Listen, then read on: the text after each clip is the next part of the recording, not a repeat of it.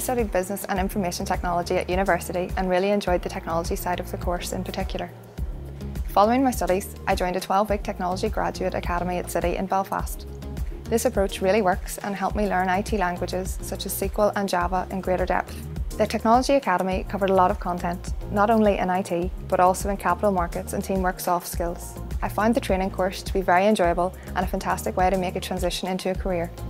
There were 26 students on the programme and there was a support among all the participants.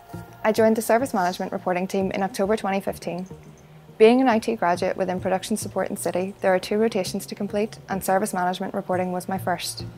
I was involved in project management and development of new and improved dashboards, interacting with many different teams, getting a top level overview of their work.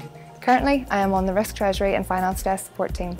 Our applications are used globally, so while I work primarily with the London Finance Desk, other members of our team are based in the USA and Shanghai, supporting the finance desks based there.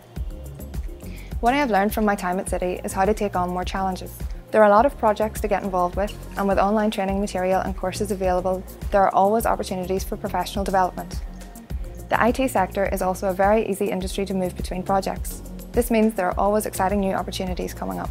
I would suggest that a graduate considering a career in IT should look for work experience or a placement to make the most of the opportunities out there. I have found in my time here that teamwork is of paramount importance in how this company operates and the ability to effectively communicate, cooperate and integrate with a team are traits that would benefit any candidate, not only in Citi but in any path they choose. Also, an avid interest for the job would be of great help. For example, I work in technology, so keeping up to date with late, the latest advances in that field can be a great help in this role. Reflecting on my time at Citi so far, I have learned so much and have been presented with opportunities that I would have never even thought of, which in turn has been a big boost to my confidence.